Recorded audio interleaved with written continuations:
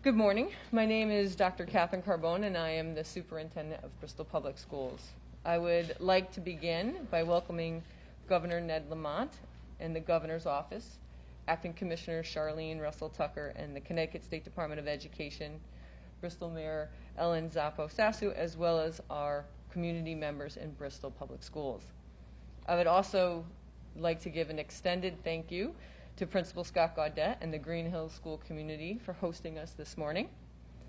A few months ago, we created a think tank comprising of over 100 of our employees to discuss and examine what worked and what did not work for our scholars, staff, and families over the past 14 months. We identified our strengths and our areas in need of improvement. The feedback and information gathered during this think tank session resulted in the formation of a smaller needs assessment team linked to the four priorities outlined in the Elementary Secondary School Relief, or ESSER Fund. Throughout this process, as well as during the entirety of our district's response to teaching and learning through the various stages of the pandemic, we partnered with the Bristol Association of Principals and Supervisors and the Bristol Federation of Teachers. Their partnership and collaboration was and is the hallmark of why Bristol Public Schools is so successful. Our community partnerships with the Bristol Park and Rec Department, Boys and Girls Club of Bristol, and the Barnes Nature Center supported our families during the early stages of the pandemic and our reopening plan, and will continue to be our community partners as we create enrichment and recreational programs throughout the summer and next school year. Collectively, we have lived up to the Bristol motto, a city of all heart. Our district goals to improve student outcomes and ensure that every scholar and every school excels at high levels are paramount as we strive to become a district model of excellence. It is our responsibility to ensure that our scholars graduate with the skills necessary to be successful for their future academic and professional careers. The funds provided by ESSER 2 and ESSER ARP will be used directly to achieve those goals. I would like to introduce Carly Fortin, our Director of Teaching and Learning, to discuss the use of these funds in greater detail.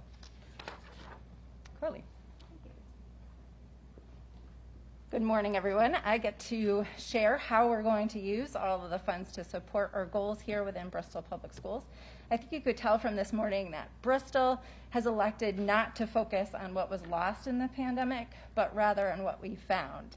We found scholars who are rising to the challenges ahead of them, exceeding the expectations that we've set. We found educators who will stop at nothing to ensure that their students are safe, well, and learning. And we found that our Bristol community is standing to lift up its schools as beacons of hope. The funds through ESSER 2 have turned what might have been obstacles into opportunities. With the collaboration that Dr. Carbone has mentioned of over 125 stakeholders within our school system, Bristol has developed a plan to move forward into the future, advancing learning through clear and challenging expectations, purposeful and meaningful engagement, and personalized programming. ESSER 2 will be used to fund three programs here in Bristol, all of which will support our Bristol pre-K through 12 scholars. They are the Bristol Advance, Bristol Bolster, and Bristol Aspire. The first program, Bristol Advance, plans for student, and student learning and engagement throughout the summer. For our youngest scholars, scholars entering pre-kindergarten and kindergarten, we have personalized programming to support transitioning into our schools. For elementary scholars, we have coupled learning experiences with engaging enrichment activities in our advanced summer camp where students will have the opportunity to advance their learning in a camp-like atmosphere. Our middle school students will use the AVID algebra program, AVID the acronym for advancement via individual determination, so that these students can enter their eighth grade year ready to meet the rigor of our challenging curriculum. High school students in our summer advance will have the opportunity to recover credit, but again, being future focused, they'll also have the opportunity to earn elective credit to explore college opportunities, to investigate career options, and even score summer employment through an exciting partnership that we have with the United Way, who will be offering employment for up to 30 of our high school students. We have also dedicated ESSER funding to advance the learning of students with special needs.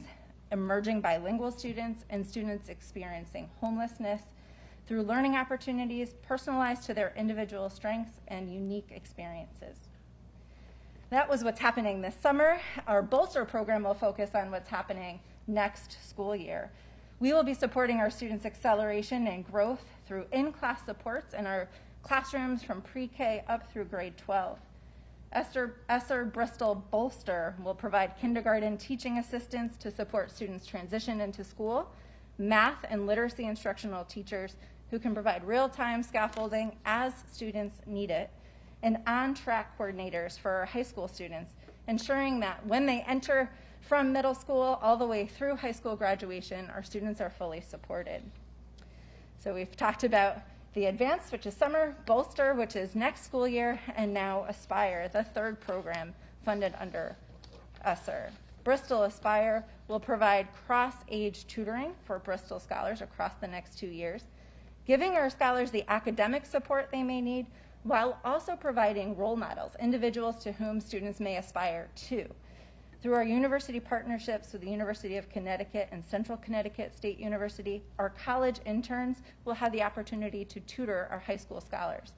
And in turn, our high school scholars, scholars will become trained tutors for our middle school and elementary scholars as well. Bristol Public Schools is not looking back. We are focused on our future. Our scholars will graduate from schools, our schools, self-sufficient and ready to make meaningful contributions to our global society. Thank you.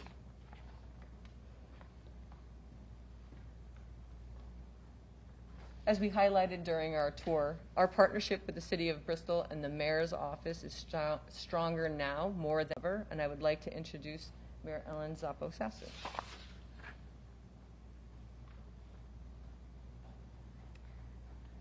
So I'd like to thank both of you for coming. I think the tour spoke for itself in terms of the accomplishments of our Board of Education during the pandemic. But I think it's really important for everyone to capitalize on what Dr. Carbone said, is that we are an all-heart community, and it has been an all hands on deck.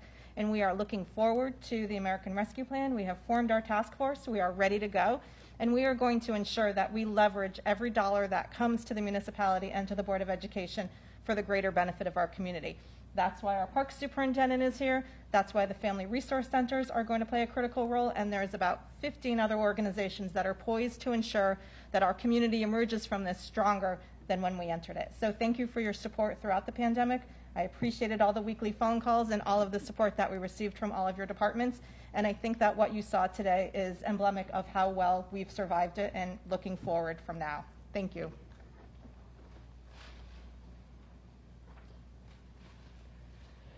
It is always nice to match the face with the voice over the past year um, of our Tuesday calls. Um, as we navigated these unprecedented times over the past 14 months, the Connecticut Department of Education has communicated with our districts at every step of the way. It is my pleasure to introduce Acting Commissioner Charlene Russell Tucker.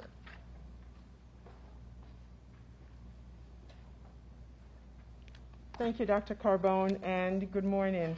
Uh, I am just so thrilled, uh, having done the tour, to see in action exactly what we had planned to see with utilizing these funds. So I express a sincere gratitude on behalf of the Department of Education to Dr. Carbone, the administrators, teachers, paraeducators, the Family Resource Center staff, and all the families for their patience and continued hard work as we adapt to changing circumstances during the pandemic.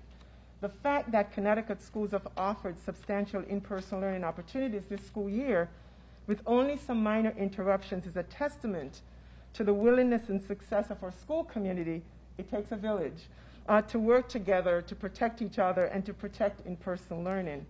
The American Rescue Plan has given us a great opportunity to employ new, innovative, and high-quality programming to accelerate our children's learning and so they can also have fun this summer while they learn, uh, and also to ensure that we're addressing their social emotional well-being. So we're pleased, Governor, under your leadership, that state agencies are indeed working together in great partnership so that we can continue this forward-thinking focus on our students' academic and social emotional needs to make sure learning is happening every day, everywhere. I'm so glad to see Parks and Recreation here. and to hear about even the employment opportunities for our young people.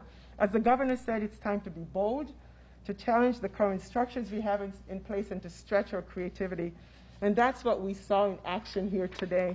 And so we're so grateful to see how the ESSER 2 funds were used and also your plan to engage the entire community for the new funding that's coming forward. So I look forward to seeing if you've done this now with ESSER 1 and ESSER 2, Dr. Carbone and, and team, I'm excited to see what will be continuing under the new monies that you've received. Making transformative investments to re-engage your students, especially those disproportionately impacted by the pandemic, is a commitment that we all hold together. And so now it's time for us to be vigilant and to go forward.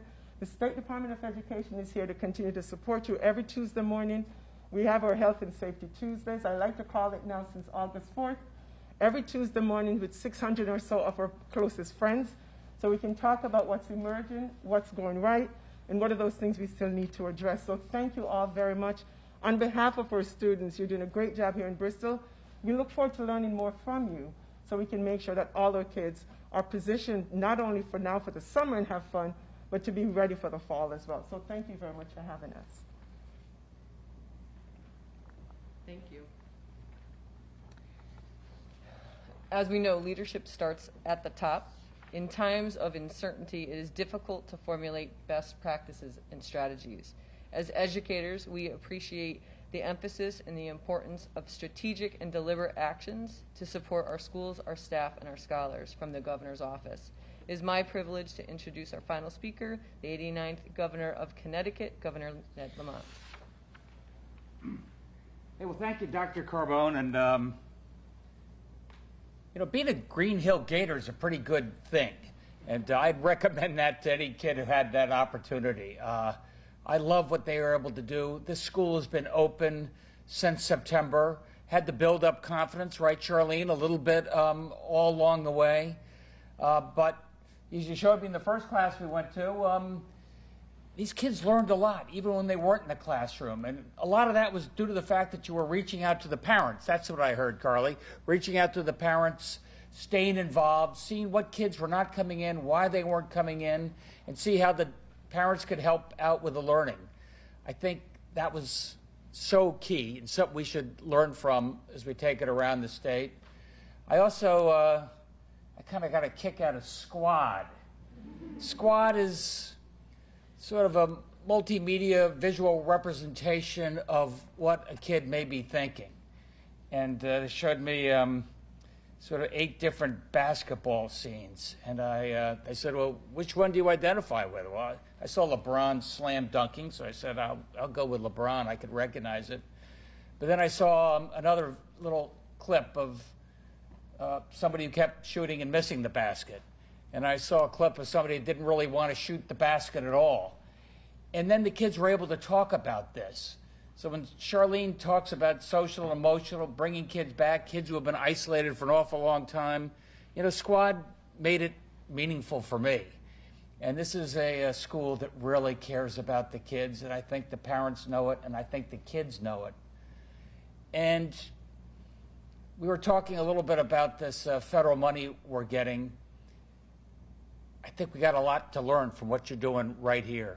I mean, we have a lot of resources. The president's coming into the state in two days, and I just want him to know that we're not going to waste our shot, if you know Alexander Hamilton that um, we're going to use this money, we're going to use it in a very prudent and thoughtful way. And some of it can be STEM, and some of it can be the three R's, some of it can be um, Lexia, is that what it was? Uh, sort of online learning, but a lot of it's about the kids. And a lot of it's the kids being part of a community and the kids getting back into the game. And um, that's what Charlene and I are trying to do this uh, summer with our summer learning camps. Um, Ellen, I really hope uh, you and Parks and Rec, we're, we're, teammates on this. A lot of that's about getting back up to speed in terms of uh, old fashioned learning. A lot of it's about just getting back up to speed in terms of being with your friends and socializing and getting out to the aquarium and going to the museums, all of which we're going to make available at no cost to any of these kids in our camps. Um, you've been lucky. Your kids have had the opportunity to always be in school, at least 85% of them, which is extraordinary. But my heart goes out to a lot of kids. We have close to 100,000 who haven't felt comfortable getting back into the classroom. And uh, Charlene and I are prioritizing making sure that each and every one of those kids, come the beginning of the new school year, hits the ground running. And I think um, what we've seen from the Gators, Alex, you taught us a lot in terms of how to do it right. You're really lucky to be at a great school like this. Thanks, everybody.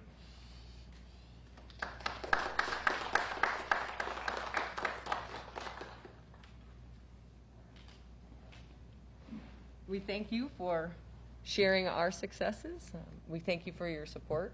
Um, And we stand here proud to uh, be that example for other communities and other school systems. So thank you.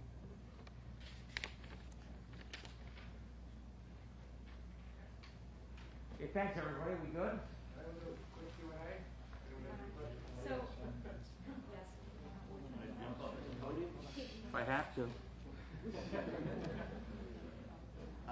No, I, I, you, you mentioned the president coming in in two days. Is, is he gonna be touring schools or is he just going to the Coast Guard Academy? I, I noticed you mentioned that. Is that, um? is President of the United States will be coming uh, on Wednesday primarily to give uh, the graduation commencement address at the Coast Guard Academy. Maybe you'll have a chance to look around a little bit afterwards. And speaking, uh, on, on off topic, speaking about Wednesday, Wednesday is a big day for reopening, the nineteenth, et cetera, et cetera. Uh, what is, what is the latest on that? In other words, um, will, will, uh, particularly on the mask mandate, take us through that first. Will there be some, uh, leeway there on, on, um, leeway for the businesses, leeway for the restaurants on masks? How will that work? So as I mean, most of you know, we have a very, very low infection rate. We got uh, almost 75% of our adults uh, vaccinated. So on Wednesday, um, we're saying uh, we're opening up uh, indoors and outdoors. Um, masks are um, optional unless you haven't been vaccinated and you're indoors. Then we want you to continue to wear the mask. But uh, Chris, uh, we're going to find that um, a lot of our stores and restaurants they have their own set of rules because sometimes um, uh, cu- customers feel a little more comfortable uh, wearing the mask, and uh, I think some stores will do that. And I think we're going to ask the kids and um, and teachers to continue wearing the masks uh, at least through this school year, just because really the kids haven't been vaccinated, and it's the safest way to go. And also businesses in, in general, uh, have a lot of leeway. They wanna take people back, they don't wanna take people back, people working at home, not at home. Uh, how will that work and how, how will that change Wednesday, if at all? Uh, the, the main thing is it's up to the, um, the stores. It's up to the restaurants. Um, I think uh, certainly uh, the employers I've talked to, they said, please, I want all of our employees uh, to be vaccinated. That's better. It's a lot better from um, fellow employees' point of view in terms of confidence and in terms of customers. They're probably not requiring that in most cases at this point, but it's a strong recommendation. And I think when it comes to customers coming into the restaurant, that's going to be up to the restaurant owner. Outside, no need to wear the mask. Governor, any concern of unvaccinated folks maybe slipping through the cracks or just maybe taking advantage of the situation now that the CDC and the state is going to allow for indoor maskless uh, businesses? A, little bit, but I think Connecticut's been pretty good so far. I mean, okay, you can get yourself a fake vaccination card and sneak into the restaurant and get a free drink if you want, but I'd like to think the other 99.9% of people just aren't going to do that. And uh, not, we're not policing it, we're not enforcing it, we're just asking people to do the right thing.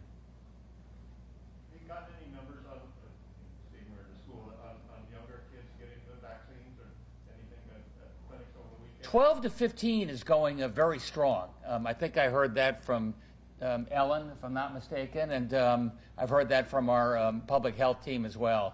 The younger ages, um, jury's out. I don't know when we're going to hear anything in terms of when the vaccines are available to them. I don't even know if it's going to be this summer. We'll see.